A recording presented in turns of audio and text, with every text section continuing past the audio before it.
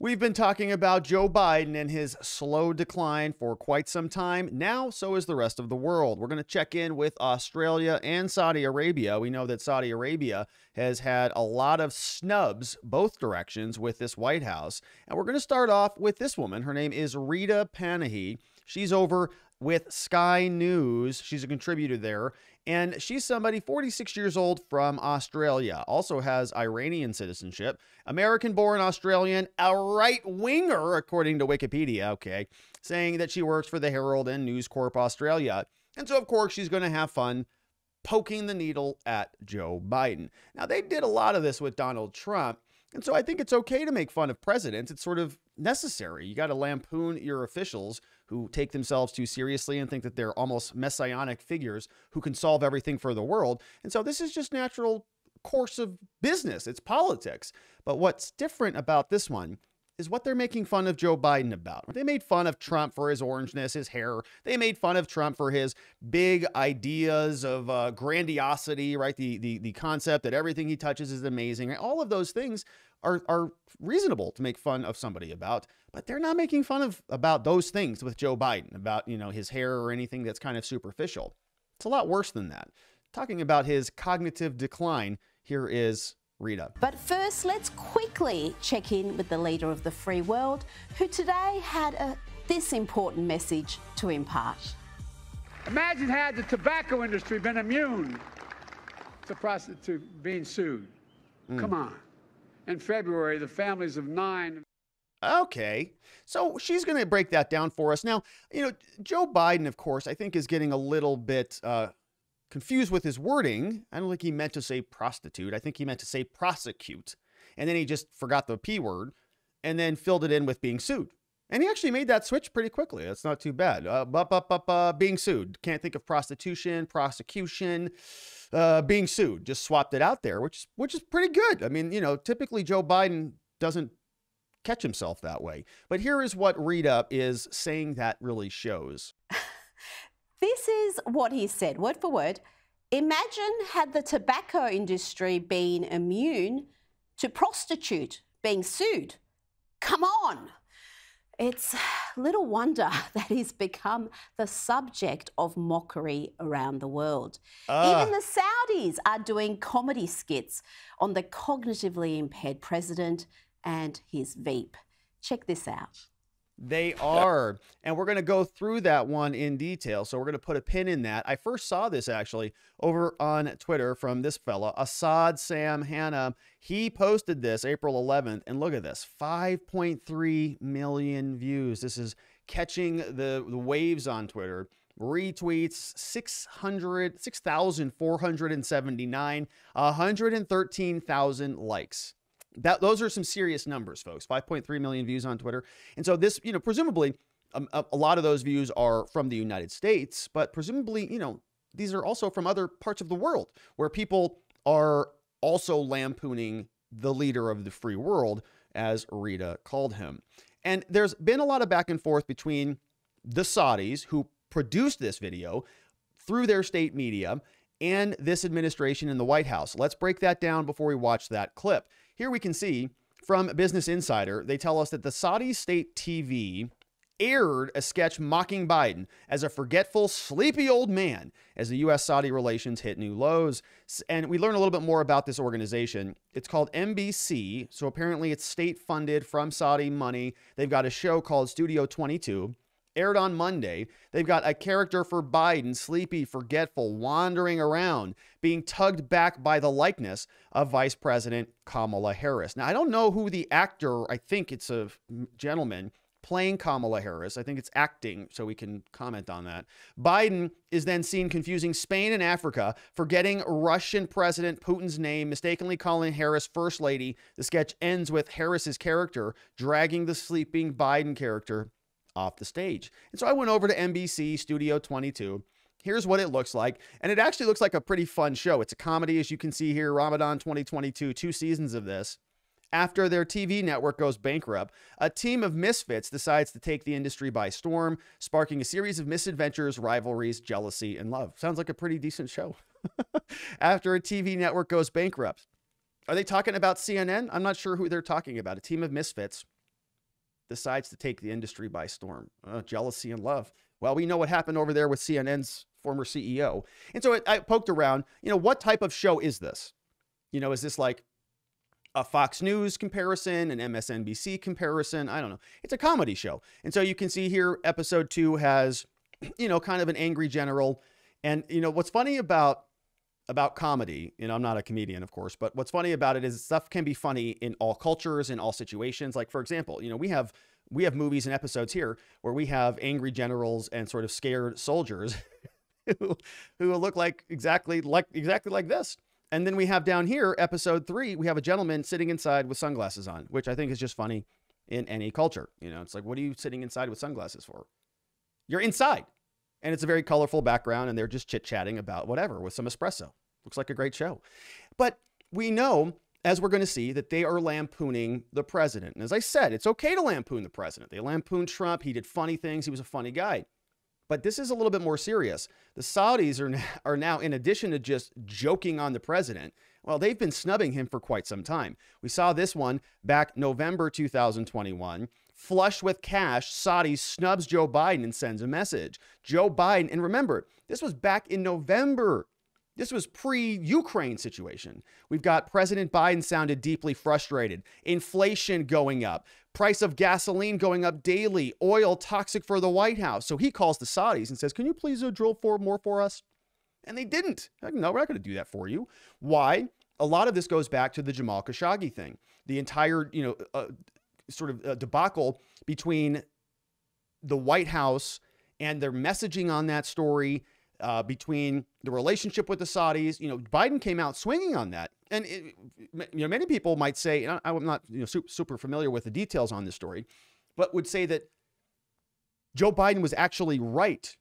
Right, he's, he's actually right. He should have you know stood up and and spoken out on behalf of Jamal Khashoggi, the journalist who was ultimately, I think, you know, dismembered by the Saudis, right? Awful, horrendous thing, uh, heinous thing. But Joe Biden goes out, talks a big game, demonizing the Saudis, and then turns around and picks up the phone call. Hey, can you guys drill for oil for us? You, you, you gotta you gotta have some consistency on that thing. You know, even if the message was right, stand by the message. Don't call them and ask for help. You know, if you're gonna if you're gonna badmouth somebody, you don't call them and ask for a favor. Like that's just human politics. It's life 101. But he can't figure that out for some reason. So the Saudis are not appreciative of his language towards them and they are declining calls. We talked about this on the channel. We fast forward from November, they declined to drill more. Fast forward to March 8th now. He calls there as the Ukraine crisis starts to heat up, says, Oh, can you drill again? And they say, No. In fact, they don't even pick up his phone call. Right, who is that Biden again? Decline. How many times I got to just block him? He he doesn't even know what he's calling for, anyways. Decline the calls. Persian Gulf monarchy signaled, no, they're not going to help the surging oil prices unless Washington supports them elsewhere. And they're not going to do that. We saw this one also back from February. Saudi Arabia rejects the Biden plea to increase oil as the midterms occur. So we've got November, we've got February, Biden, we've got March, month after month, just begging for more oil. And they just say, no, we're not going to do that. And so we see that it's just one snub right after the other. They think he's got no teeth and he's just a feckless leader. And they're not wrong about that. That's why they sponsor videos and skits like this. And we're going to watch what happens here. And I don't know, you know, I don't watch enough of the show, obviously, beyond what we've taken a look at here today to sort of dive in and understand who these characters are. These are recurring characters. Is this a Saturday Night Live thing? I do know that it looks like this guy who is playing Biden is uh, sort of a comedian who does this. I'm going to show you a clip of him also doing this to Boris over from the UK. Let's watch.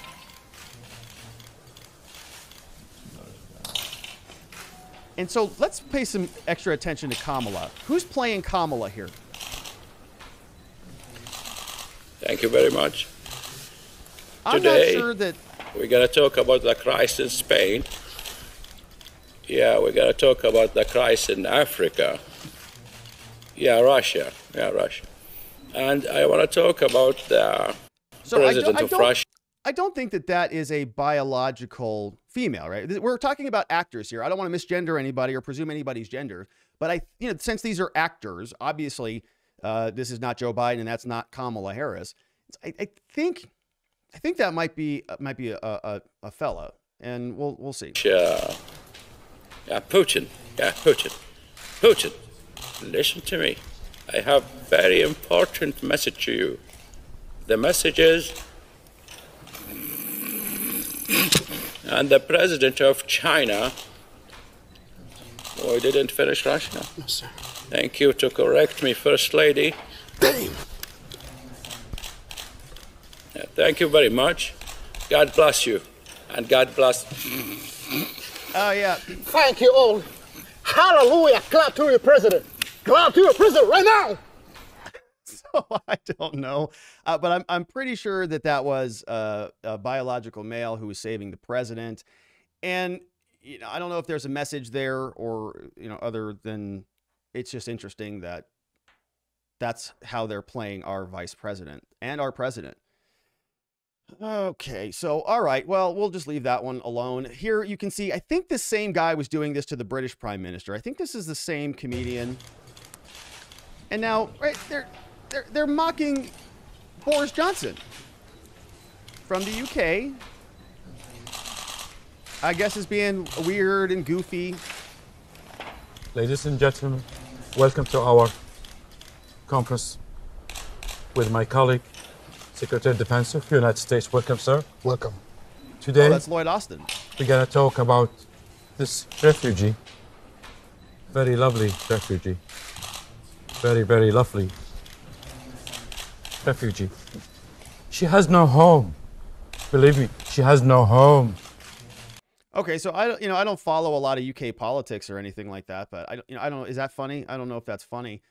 Uh, I don't think so, but you know, they're mocking other world leaders, and you know, what's I, I think the key takeaway here is not whether it's funny or not. It's more about whether they're mocking characteristics that matter, like Joe Biden's competency. Okay, here they're making fun of Boris Johnson's hair. They made fun of Trump's hair. They made fun of Trump's orangeness, whatever. Here, they're making fun of Joe Biden's competency. He can't even speak or sputter out a sentence or address world leaders appropriately. And then we see clips like this. Now, he, this is another one, which is just a little bit, it's a little Joe Biden, but if you break it down, you can really see what's happening here. And so he kind of just mashes all these things together. A pretty important hearing. Uh, Kamala is getting, you know, uh, kind of uh, skewered for, I think, not wearing a face mask shortly after this when she was inside palling around with a bunch of people. But here we've got Biden now issuing a statement saying that he was hanging out with the president of China, Xi Jinping, hanging out in the foothills of the Himalayas. America is a nation that can be defined in a single word. What is it? I was in the foot, uh, foot, foot, excuse me, the foothills of the Himalayas with Xi Jinping, traveling with him. I guess we traveled 17,000 miles when I was vice president. I don't know that for a fact. All right, so you can take a look at the new judge. We have Ketanji Brown Jackson, who got sworn in, and she's sort of looking at the ground like, good Lord. Her face is, you know, that face like this?